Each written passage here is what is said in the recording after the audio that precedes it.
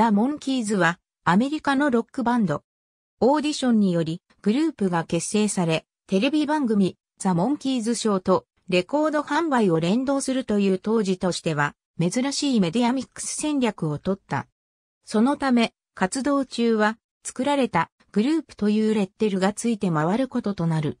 モンキーズは基本的にはボビー・ライデル、アネット、ファビアンらのアメリカのアイドル的な芸能人の系譜に連なるグループと言える。ただ、幸運にもデイドリームなどの優れた楽曲に恵まれたため、今日でもラジオでオンエアされることがある。解散後の1986年、MTV でザ・モンキーズショーが再放送されたことがきっかけに、リバイバルブームが発生し、マイク・ネスミスを除く3人で再結成された。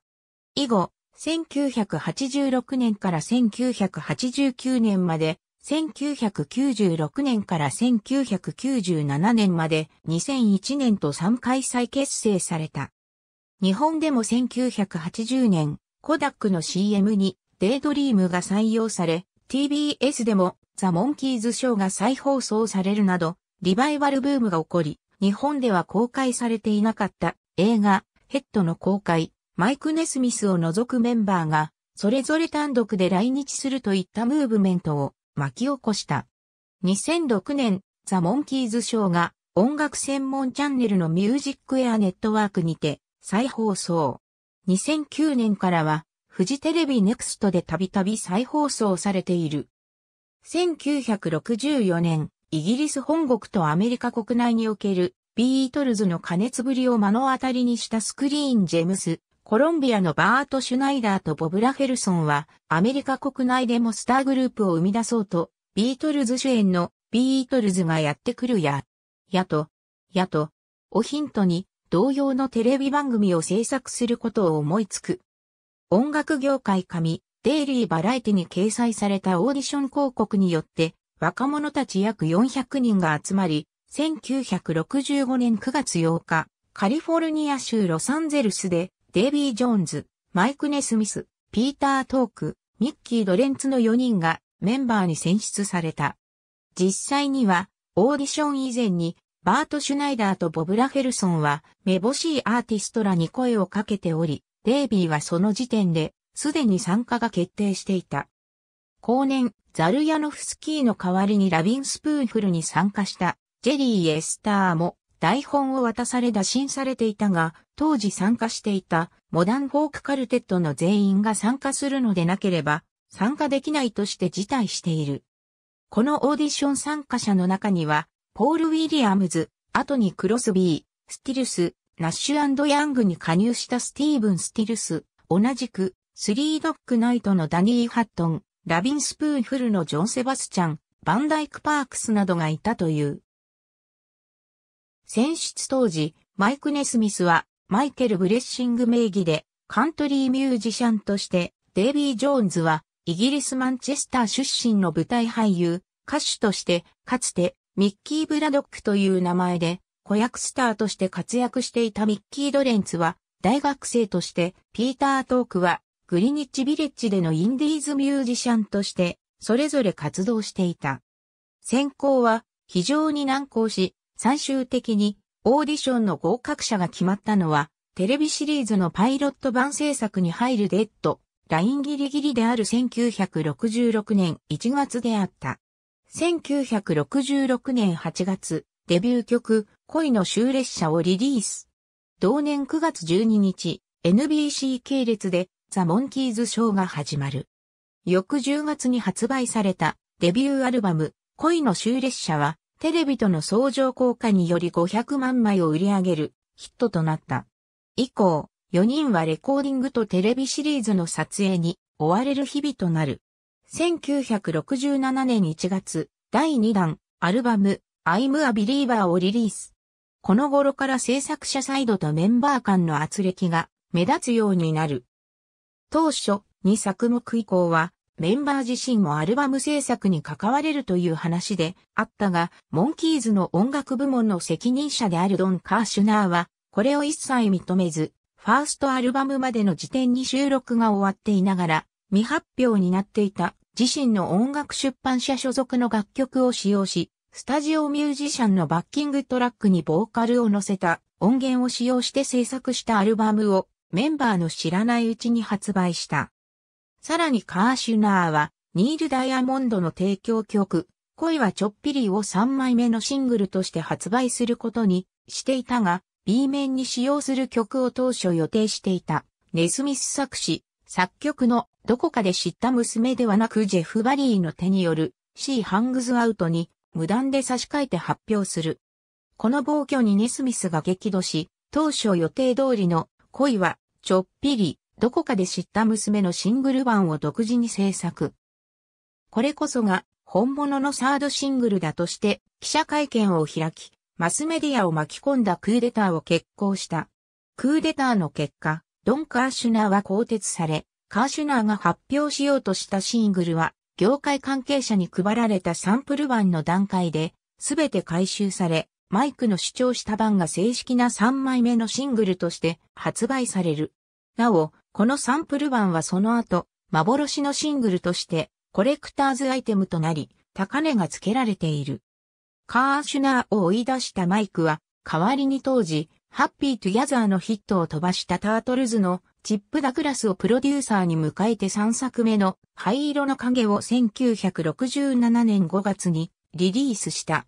この頃にはハーマンズ・ハーミッツに代わって全米ナンバーワンの人気グループとなり、イギリスにおいても高い人気を得ていた。3作目のアルバム、灰色の影は全2作とは異なり、チップ・ダグラスとメンバー自身によってプロデュースされ、自分たちの選曲した曲と自作曲が収録された。演奏も、ホーンセクションを除いてはすべて自分自身で行われた。このアルバムは、テクニックが稚拙なためにガレージパンクのような荒さがあり、レコーディング中のお遊びなども収められた。当時の4人の等身大を表現する作品に仕上がったものの、売り上げは前作を若干下回る。その後、撮影、レコーディング、ツアーなどの時間的な制約から演奏はスタジオミュージシャンを使用する方式に戻った。1967年4月頃からカナダ、全米でのツアーを開始。メンバーはその合間にレコーディング、テレビシリーズ撮影という殺人的なスケジュールをこなす。なお、この1967年8月のライブレコーディングは20年後の1987年にライブ1967としてリリースされた。同年11月、スターコレクターをリリース。この頃から自作のレコーディングに取り掛かる。1968年3月、テレビシリーズが終了。その直後の4月に、小鳥と蜂とモンキーズがリリースされる。同作と前作のスターコレクターで、モンキーズは作品的に一つの頂点を極めたが、小鳥と蜂とモンキーズには前作ほどのわかりやすさはなく、直後にテレビシリーズが終了したこともあって、売り上げは前作のスターコレクターに及ばなかった。小鳥と蜂とモンキーズは、モンキーズのアルバムで初めて、アルバムチャートの1位を逃した作品でもある。1968年2月から5月にかけては映画ヘッドの撮影が行われた。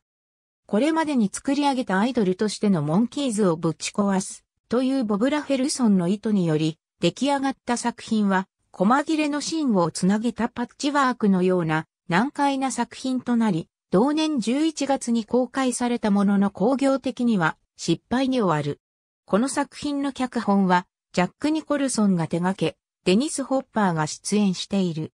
1968年9月から10月にかけて太平洋ツアーを講演。9月にはオーストラリアで7公演を務めた後、来日した。羽田空港には、ファンの少女らが殺到し大騒ぎとなる。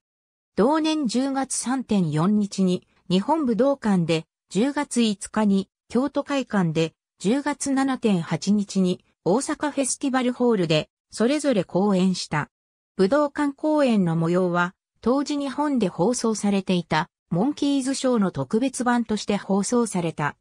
太平洋ツアーの後、1968年11月に放送された NBC のスペシャル番組331サンレボリューションズパーモンキーの出演後、ピーター・トークがグループを脱退。その後、モンキーズは3人で活動を行う。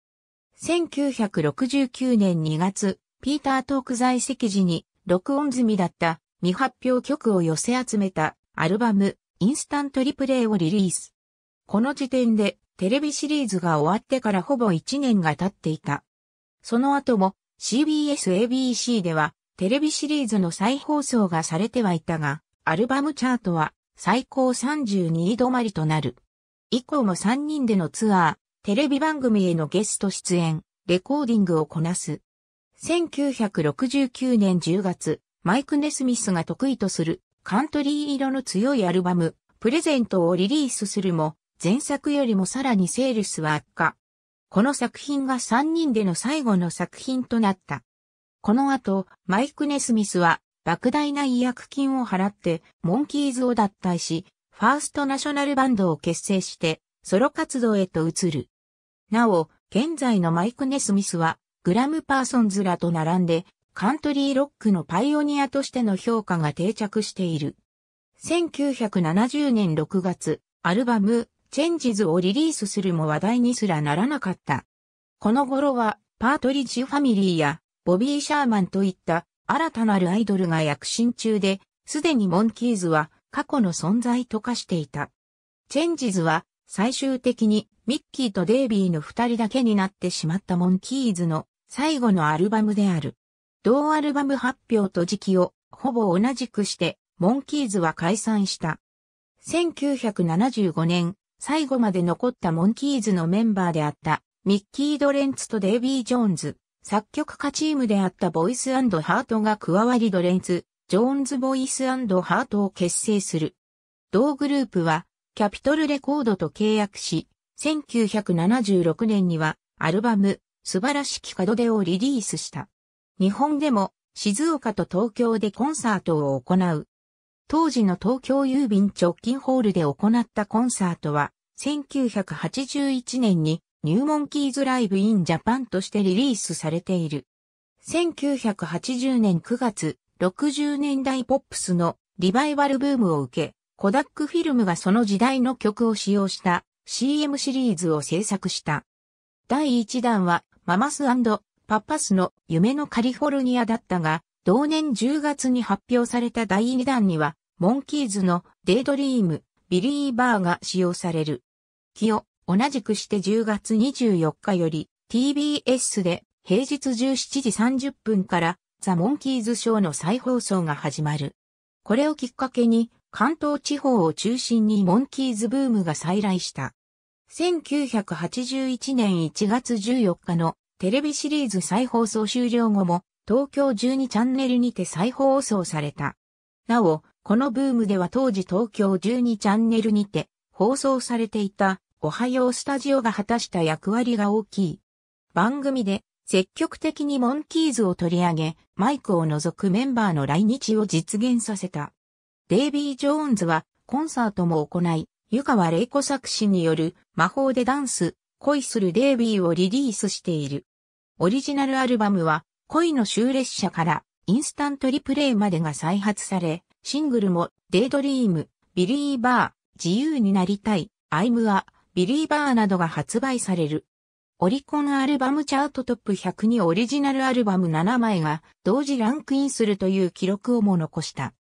1981年1月、東急文化会館でヘッドが公開された。1986年、MTV でのザ・モンキーズショー再放送をきっかけに、アメリカでもリバイバルブームが起こる。ベストアルバム、Now 全ザ・モンキーズベストが発売され、1987年にはマイクを除くメンバーによるオリジナルアルバム、プール・イットがリリースされた。このアルバムからは、ザッツはズゼン、This is Now、ハートソウルもシングルカットされた。1996年には結成30周年を祝って、マイク、デイビー、ミッキー、ピーターの4人が揃ってスタジオに入り、オリジナルアルバム、ジャスタスを制作。仲良く並んでジャケット写真に収まっている。以降も、モンキーズの楽曲の全版権を所有する米来の社は、膨大な数のマスターテープを丹念に発掘し、未発表曲や別テイク版を多数収録したスペシャルアルバムを連続して発売。丁寧なライナーノーツや秘蔵写真の数々は現在でも幅広い層のファンを熱狂させている。2006年にはオリジナルアルバムを2枚組に拡大したデラックスエディションとして発売された。2011年結成45周年を記念して再結成。イギリスとアメリカでのツアー公演を開始したが、ファーストレック終了後に残りの日程がすべてキャンセルされる。理由としてメンバー間の確執や健康状態などが取り沙汰されたが、後にデイビーが語ったところによると、キャンセルなのではなく、もともとファーストレックまでの日程でツアーが終了するはずだったが、事前にメンバーからの確認を取らずに、プロモーターが次々と残りの日程を加えてしまい、終了せざるを得なかったという。この時、ブラジルや日本、オーストラリアへのツアー予定も考えられたとのことである。2016年には結成50周年を記念してオリジナルアルバムグッドタイムズが制作された。ザ・モンキーズシーズン1オン DVD ザ・モンキーズシーズン2オン DVD ザ・モンキーズ・アワー・フェイバリット・エピソーズ。ありがとうございます。